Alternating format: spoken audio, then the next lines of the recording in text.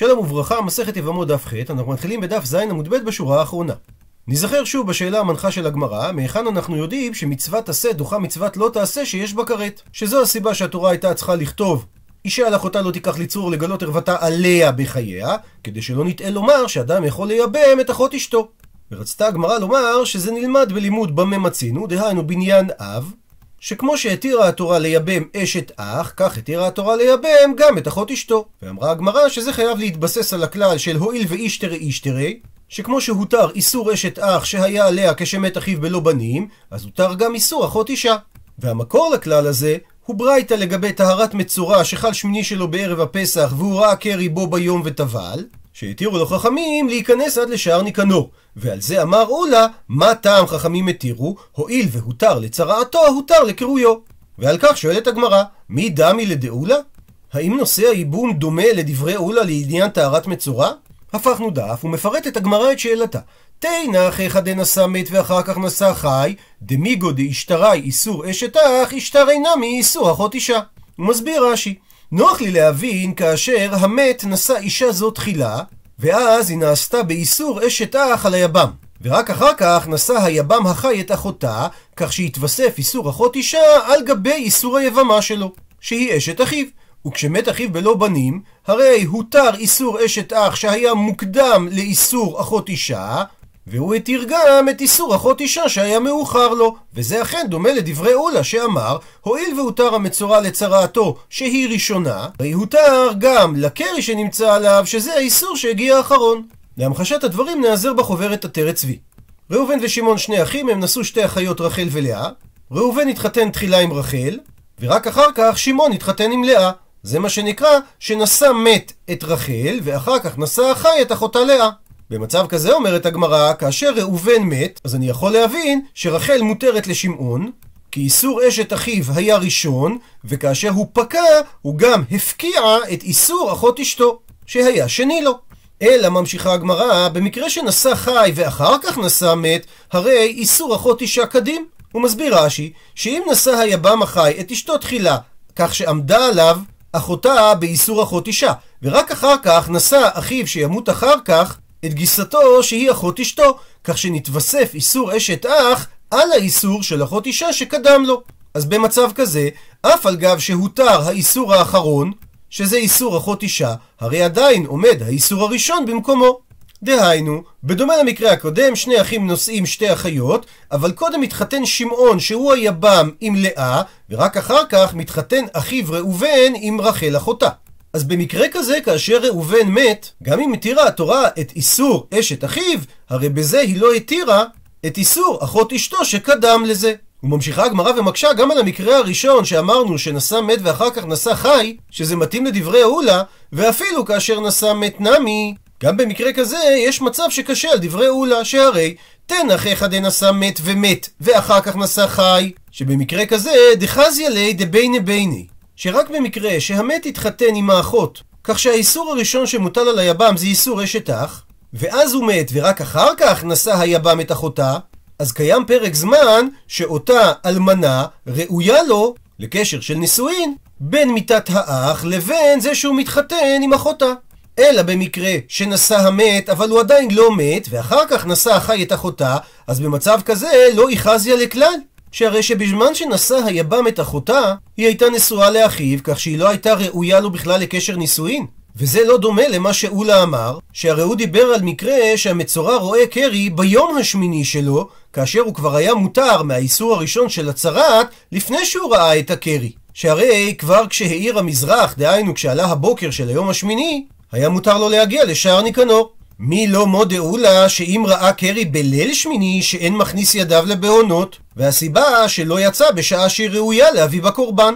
שהרי מודעו לה במקרה שהוא ראה קרי לא ביום השמיני אלא בליל יום שמיני, שבמקרה כזה אסור לו להכניס ידיו משער ניקנור כדי שייתנו על הבעונות את הדם, בגלל טומאת הקרי שמעכבת עליו. והסיבה, הואיל ולא יצא מצרעתו לשעה ראויה להבאת קורבנותיו, שהרי קודם שהותר מהצרעת שלו, בא עליו טומאת הקרי.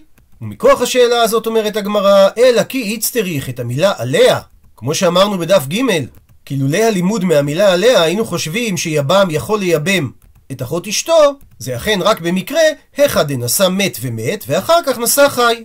כי רק המקרה הזה זהה למקרה שעליו דיבר אולה, דהיינו שהיה שלב מסוים שאשתו של המת מותרת ליבם כי הוא עדיין לא התחתן עם אחותה, ואז ניתן לומר את הכלל כיוון דאישתרי אישתרי, בדומה למה שאמר אולה לגבי מצורע שראה קרי. עד לכאן התשובה הראשונה למה היה צריך את המילה עליה. והיא בית אימה, ואם תרצה תאמר תשובה נוספת, עטיה בהיקשה מדרבי יונה. הסיבה שהיה צריך את הלימוד המיוחד מהמילה עליה, כי אם לא היינו לומדים כמו ההיקש של רבי יונה, שיבם יכול לייבם את אחות אשתו. דאמר רבי יונה ואיתימא, ויש אומרים שאמר את זה רב הונא בריה דרב יהושע, אמר קרא כי כל אשר יעשה מכל התועבות האלה, ונכרתו הנפשות העושות מקרב עמם. ולפי הפסוק הזה, הוקשו כל העריות כולם לאשת אח. ולכן ניתן לומר, מה אשת אח שריה, התירה התורה לייבום? אף כל עריות נמי שריין. אז גם את כל העריות התירה התורה לייבום. ואם כך, לכאורה מותר לייבם לייבם את אחות אשתו. וזו הסיבה שכתב רחמנא את המילה עליה, ולמדנו בגזרה שווה מאחות אשתו לעניין יבמה יבוא עליה, שגם במקום של ייבום אחות אשתו אסורה. והוקשו כל העריות כולם, אז כמו שאחות אשתו אסורה לייבום, גם שאר העריות אסורות לייבום. מקשה על כך אמר ליה רב אחא מדיפתי לרבינא, מכדי הרי כל עריות איכא לאקושינהו לאשת אח ואיכא לאקושינהו לאחות אישה. יש להקיש אותם או לאשת אח שהותרה לייבום, או לאחות אישה שאתה אומר שהיא אסורה בייבום מהמילה עליה. אז מאי חזית דאקשת לאחות אישה, אקשינהו לאשת אח?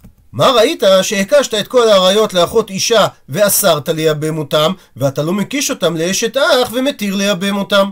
מביאה על כך הגמרא שתי תשובות. תשובה ראשונה, אי בעית אימא, אם תרצה תאמר, כאשר יש לנו היקש שהוא לקולה והיקש אחר לחומרה, אז הבחירה שלנו היא לחומרה מקישינן. ולכן אנחנו לא מקישים לקולה, דהיינו לאשת אח שהיא מותרת בייבום, אלא לאחות אישה שהיא אסורה בייבום. נפתח רגע סוגריים ונשאל שאלה. הרי ניתן להסתכל על הדברים גם בדיוק להפך. מדוע לא נאמר שכאשר אסור ליבם לייבם את האישה, זה מה שנחשב דווקא כקולה, שהרי היא מותרת להתחתן לשוק בלא חליצה ובלא ייבום. מה שאין כן, כאשר היא מותרת בייבום, זה חומרה. כי היא לא יכולה להתחתן עם אף אדם לפני שהיא תעבור חליצה או ייבום. כדי לענות על שאלה זו, נביא את דבריו של הרב יעקב אטלינגר, בעל הערוך לנר, שהיה רב, פוסק הלכה וסופר, רבה הראשי של אלטונה ומנהיגי היהדות האורתודוקסית בגרמניה. הוא למד קבלה והתפרסם כמקובל בעל בקיאות בספר הזוהר. לאחר פרעות הפ-הפ בשנת 1819, הוא נמלט לבית המדרש של בעל שער הזקנים, רבי אברהם בנימין זאב המבורג. תוך כדי לימודיו הוא למד גם באוניברסיטה של העיר, אבל הוא פרש משם בעקבות הפרעות הנ"ל. בכך הוא גם היה לאחד מראשוני הרבנים הגרמנים בעלי רגע אקדמי. כמו כן, הוא גם היה בעל ידע מוזיקלי, כתב תווים בלחן משלו לפיוט הידוע מעוז צור. בשנת 1844 התקיים בעיר בראונשוויג כנס של רבנים רפורמים, כאשר רבי יעקב אטלינגר ראה בכך איום על עתיד היהדות, והוא הוביל מחאה של 116 רבנים נגד הרפורמה. בנוסף, רבי יעקב פעל לטובת היישוב היהודי המתחדש בארץ ישראל, וכהוקרה על פועלו קיבל את תואר הכבוד נשיא ארץ ישראל מהרבנים הספרדים והאשכנזים בירושלים דאז. ענוותנותו משתקפת בצוואתו, שבה ציווה שאחרי פטירתו לא לקרוא לו צדיק ושעל קברו יחרטו רק את שמות ספריו והשנים שבהם כיהן כרב באלטונה. הוא נפטר בליל הראשון של חנוכה, כ"ה בכסלו, שנת התרל"ב, ונקבר באלטונה. הרב יוסף חיים זוננפלד, שהתגורר כל ימיו בירושלים בדירת בית יעקב, שנתרמה על ידי מעריצי רבי יעקב אטלינגר, היה מציין את יום הזיכרון של הרב אטלינגר מדי יום ראשון בחנוכה, תוך ציון העובדה שמספר ספרי הערוך לנר היה שמונה, כך שנפשו של המחבר ידעה לקרוא לסדרת ספריו ערוך לנר, כי ביום הזה נערכה העברת נר נשמתו לישיבה של מעלה, וקבע נר גופו בעולם הזה. וכך מקשה בעל הערוך לנר, שהרי גם איפכא, שרוצים ללמוד את איסורי עריות דווקא מאחות אשתו, זה נחשב כולה ולא חומרה, שהרי פותרים אותה לשוק בלא חליצה וייבום. הוא מתרץ בעל הערוך לנר דמכל מקום איסור כרת חמור יותר, וההוכחה שלו, שהרי אמרנו אין עשה דוחה לא תעשה שיש בו כרת, אבל הוא כן דוחה לא תעשה בעלמא שאין בו כרת. וזו אמת המידה מה נחשב כולה ומה נחשב חומרה. תשובה שנייה אומרת הגמרא, אי בהיתימה, אם תרצה תאמר, החתרי איסורי והחתרי איסורי, ותרי מתרי אלפינן. כאן באיסור עריות יש לנו שני איסורים. גם את איסור אשת אחיו, גם את איסור העריות, ואותו דבר, באחות אישה, את אותם שני איסורים. איסור אחות אשתו, ואיסור אשת אחיו. ושני איסורים משני איסורים אנחנו לומדים, מה שאין כן, אבל הכה, לגבי אשת אח, חד האיסורה, שיש רק איסור אחד, וטריים אחד הלא ילפינן. כאשר אנחנו בוחרים למה להקיש, אנחנו מעדיפים להקיש משני איסורים לשני איסורים שאת שניהם אסור, ולא להקיש למקרה של איסור אחד שהותר, וממנו ללמוד ששני איסורים יותרו. ומביאה עכשיו הגמרא תשובה שלישית לאיתור של המילה עליה. אבא אמר, ערווה גופה לא צריך הקרא. בכלל לא צריך פסוק מיוחד כדי לומר שאסור לייבם ערווה. והסיבה, דאין עשה דוחה לא תעשה שיש בו כרת. אלא למה כן צריך את איתור המילה עליה? כי יצטריך קרא למייסר צרה. צריך את המילה עליה כדי לאסור את צרת הערווה לייבום. מקשה הגמרא, וערווה לא צריכה קרא, והתניא אין לי אלא היא. הרי מלשון הברייתא בדף ג' משמע שהאיתור של המילה עליה מלמד על איסור הערווה להתייבם. עונה על כך רבא שזה משום צרתה. דהיינו שהלימוד של המילה עליה אכן מלמד על צרתה של הגיסה, והלשון של אין לי אלא היא זה רק בגלל שהברייתא רוצה ללמד על הצרה. ממשיכה הגמרא ושואלת, והקטני אין לי אלא הן, שבהמשך הברייתא שם, משמע שהמילה עליה מלמדת על שאר האריות שהן אסורות בייבום. וגם על זה עונה רבא שזה משום צרותיהן. דהיינו רק הדרך של הברייתא להגיע לעניין זה שצרותיהן של האריות אסורות בייבום. מקשה הגמרא תא שמע הוכחה מברייתא. שרבי אומר, על הפסוק יבמה יבוא עליה ולקחה לו לאישה וייבמה. שלא נאמר ולקח, אלא נאמר ולקחה, ולא נאמר וייבם, אלא נאמר וייבמה. שהרי ניתן היה לומר ולקח אישה וייבם, ומזה שכתוב ולקחה, יש פה מיעוט, דהיינו הוא לוקח אותה ולא אחרת. ועל אותו משקל כתוב וייבמה, דהיינו הוא מייבם אותה ולא אחרת. ומכאן למד רבי שזה בא לאסור צרות ועריות. הרי אנחנו רואים שגם עריות צריכות פסוק כדי לאסור אותם בייבום. ולא כדברי רבא שאמר שערווה לא צריכה פסוק. מתרצת הגמרא, אימה, תאמר שהנוסח בברייתא צריך להיות לאסור צרות של עריות. וזה מסתדר עם דברי רבא.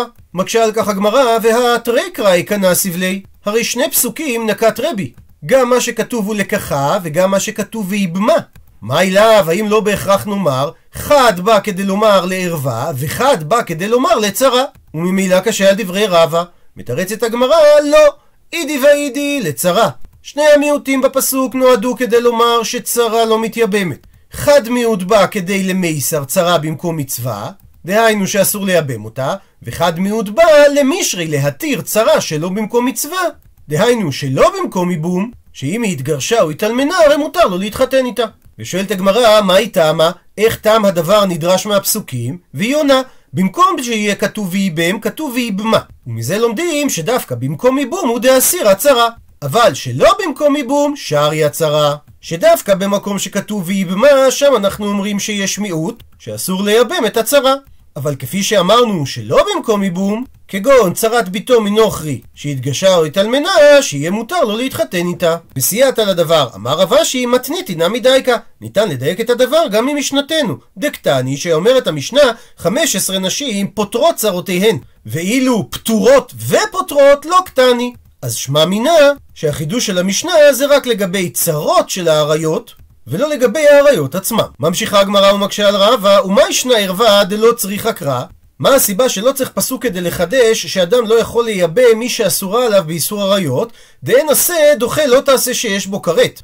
אבל אם כך, צרה נמי לא תיבא יקרא, מאותו טעם, משום דאין עשה דוחה לא תעשה שיש בו כרת. שהרי מזה שכתוב, אישה אל אחותה לא תיקח לצרור, משמע לא אחות אישה ולא צרתה, וכתיב בצורה גורפת בסוף האריות עונש כרת. אז לפי הכלל שאין עשה דוחה לא תעשה שיש בו כרת, מדוע צריך מיעוט מיוחד של המילה עליה עבור צרה? עונה לו, אמר לרבחה בר ביבי מר לרבינה, שהכי כאמרינן, כך אנחנו מסבירים משמי דרבה. שאכן צרה נמי לא יצטריך קרא, שהרי היא עומדת בכלל שאין עשה דוחה לא תעשה שיש בו כרת. אלא כי יצטריך קרא, הסיבה שהיה צריך את הלימוד המיוחד מהמילה עליה, הפכנו דף, זה כדי למישרי צרה שלא במקום מצווה.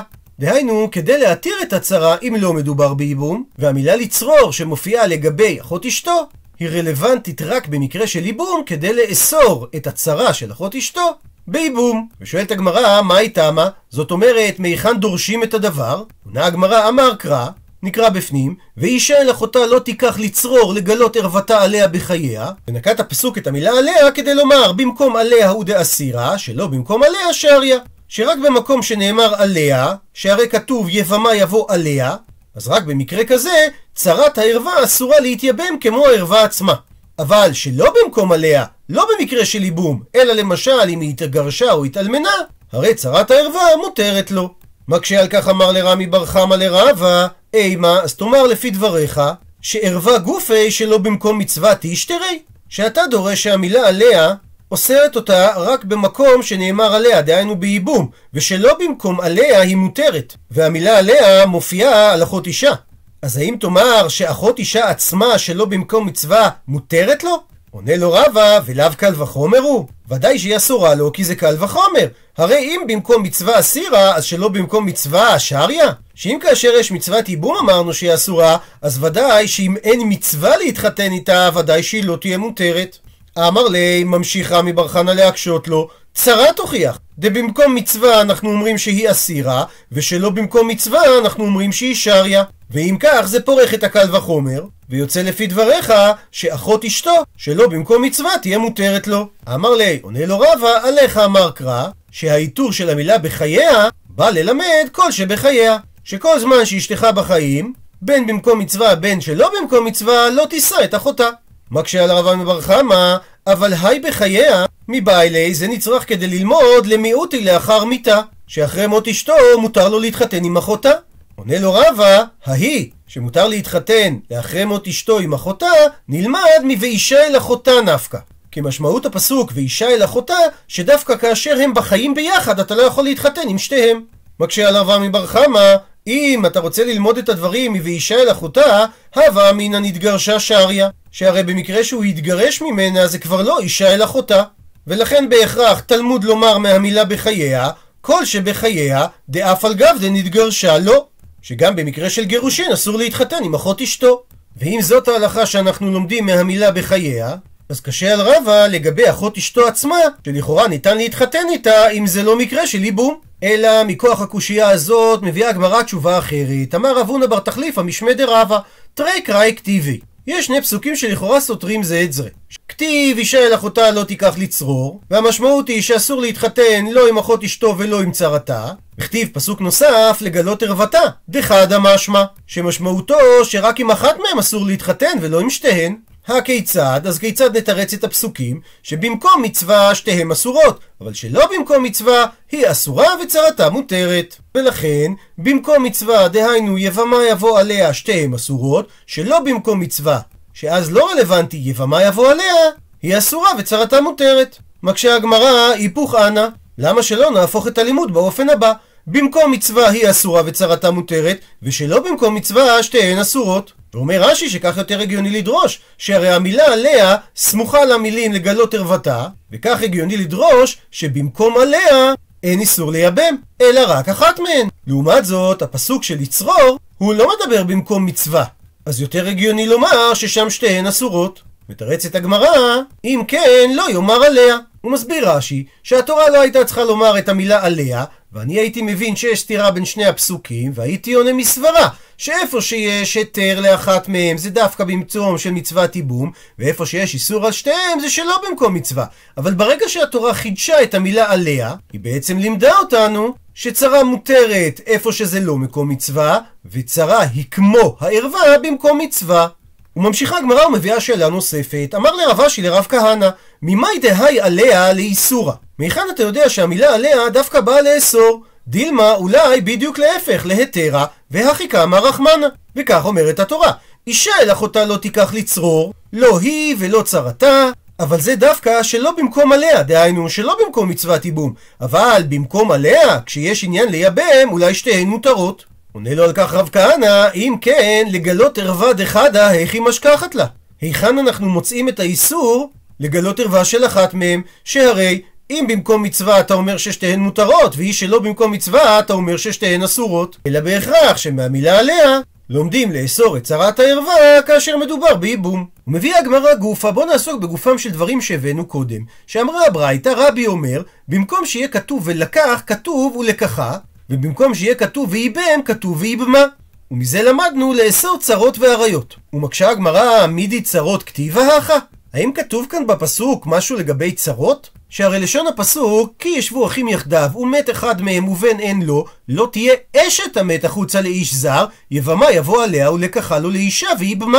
ולא הוזכרו צרות בפסוק. ועוד, מקשה הגמרא, הרי צרות מלצרור נפקא. הרי הברייתא בדף ג' למדה את איסור הצרות מהמילה לצרור. מתרצת הגמרא קודם כל את הקושייה השנייה, לצרור מה פקלי רבי לחדר רבי שמעון. שרבי לא לומד כמו הברייתא בדף ג', אלא כמו רבי שמעון, שלומד בדף כ"ח לגבי שלושה אחים ששניים מהם נשואים שתי אחיות או אישה ובתה והם מתו, ונפלו הנשים לפני השלישי, הרי הנשים האלו חולצות ולא מתייבמות. הסיבה, לפי ששתיהן זקוקות לו מקידושי שני אחיו. וזיקת הייבום נחשבת כקצת קידושי, כך שאם הוא מייבם אחת מהם, הרי הוא בעצם נושא את אחות זקוקתו בחייה, וזקוקתו נחשבת כאשתו. אבל זה לא פותר אותם לגמרי, כי חליצה הן עדיין צריכות, כי הזיקה הזאת לא הופכת אותה לגמרי כאחות אשתו ממש, כך שהיא תוכל להיפטר בלא כלום. ושנינו על זה בברייתא, שרבי שמעון פוטר בשתיהן מן החליצה ומן הייבום. כי מזה שכתוב לצרור, שרק בשעה שנעשו צרות זו לזו, כגון במקרה הזה, שנעשו האחיות צרות זו לזו בזיקה, אז במצב הזה לא יהיה לך ליכוחין אפילו באחת מהן.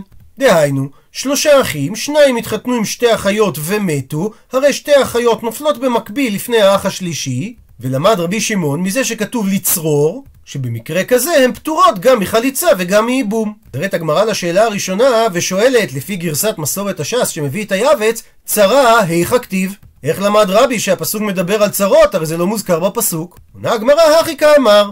כך צריך להסביר דברי רבי. אם כן, לימה קרא ולקח. מאי ולקחה, שהרי המילה לקחה משמע שיש שתי נשים שנפלו לו מאחיו המת, ולכן באה התורה ואומרת ולקחה, דהיינו שייקח אחת ולא את שתיהם. ולכן נקטה התורה את המילה ולקחה כדי ללמד שכל איכא דאי קטרי לקוחין, כל מקום שיש לו אפשרות לעשות שני לקוחין.